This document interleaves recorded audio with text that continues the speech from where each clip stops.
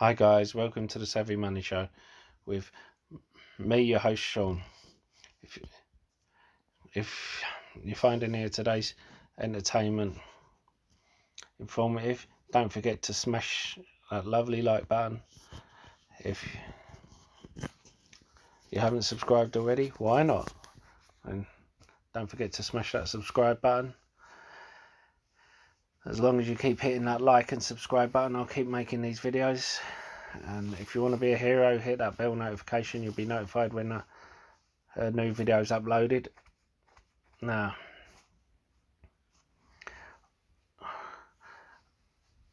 I've been asked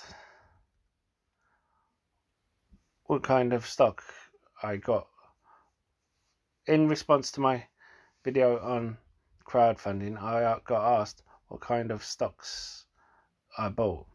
Now, I actually bought stocks in over 330 companies, so I can't put them all on here. But I thought I would list uh, one that is relative to COVID 19 and I thought I would list a super spec stock that I'm interested in. And hopefully, if you can be a bit patient with me till the end, you'll see the reason why. First off, the super spec stock. Now, I'm going to show the super spec stock Illumina. They're a US based company they have uh, access to CRISPR, a gene com company, obviously, gene splicing company. They are one of the few companies, although it says 52 billion market cap, high PE ratio, but with spec plays that most of them do, but it shows they're making a profit.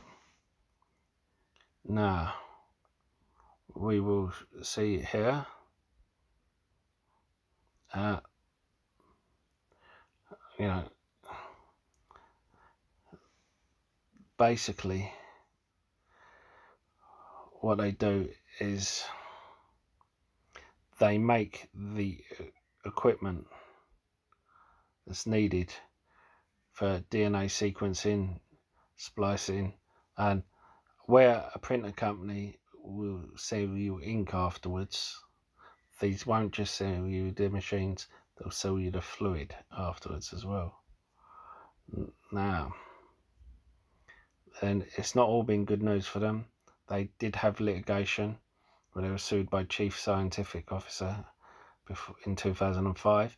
Now, seems more of a disgruntled employee. That's all over with. 2010, uh, Cornell University and Life Technologies filed a lawsuit against them. That got settled in April 2017 without finding any fault. Now, in September 2017, both parties asked to have the settlement reviewed. Now, 2016, Illumina filed a lawsuit against Oxford Nanopore Technologies and this February, Illumina filed a patent infringement against BGI. Anyway, this isn't the only thing that they do. They actually, uh, sorry, this is some. They actually have a large number of companies. They have they have shares in a large number of companies. One of them is a company that Jeff Bezos has uh, shares in, and so does uh, Bill Gates, which is a blood test company which has with 99% accuracy can detect early stage cancer any type of cancer so I just think these have a huge moat around them and they're unknown unless you've been informed about them. And I, I expect, I expect you should, I expect these to be the future to tell the truth. Tesla will be the future of transport, uh, space, and I think these guys will be the future of medical treatment. We've we heard before about a swimmer having a fish gene is because misuse of CRISPR. These guys make sure it's all done properly. Uh, when I know I was asked if I wanted gene testing, uh, make sure everything was okay with my baby before. So it's becoming more and more common, and I turned it down. Now, on with the one from crowdfunding. Now, this one 2020 Gene Systems to provide FDA authorized COVID 19 antibody testing. Now, the thing is, they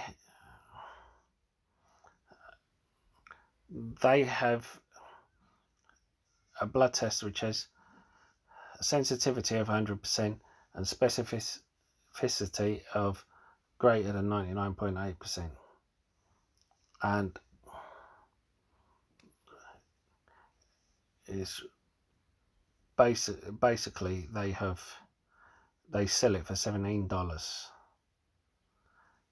and they have managed to recoup uh, over a million dollars from this test alone.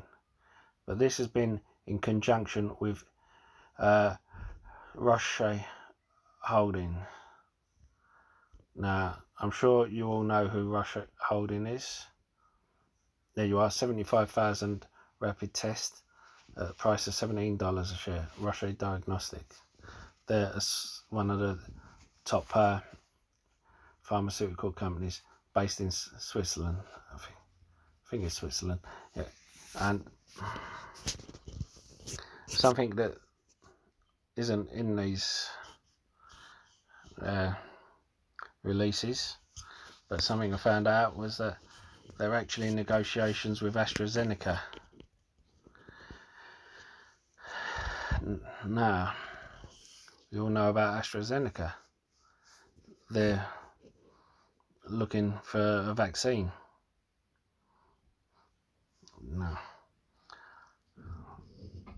These guys also do a cancer test as well.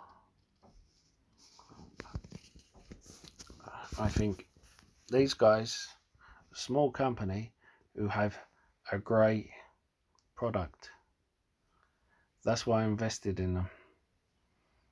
Now, this is just going to make them get give give them the capital get bigger and bigger. No, it's not just this. There's plenty of other companies out there. If we can look, uh, ah, there's uh, Stablepharma. Uh, no, Stablepharma is a technology. When they have the vaccine or the cure, they are going to need to take it to all around the world, especially third world countries where they don't have electricity or stable electricity. A third to a half of all vaccines lose uh, lose their quality because they can't stay stable. And this actually keeps them stable without the need for electricity without the need for refrigeration. And there are 50% of vaccines wasted due to failures in the cold chain. Now they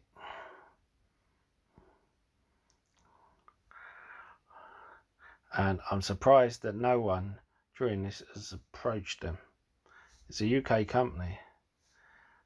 I would have thought someone would have approached them and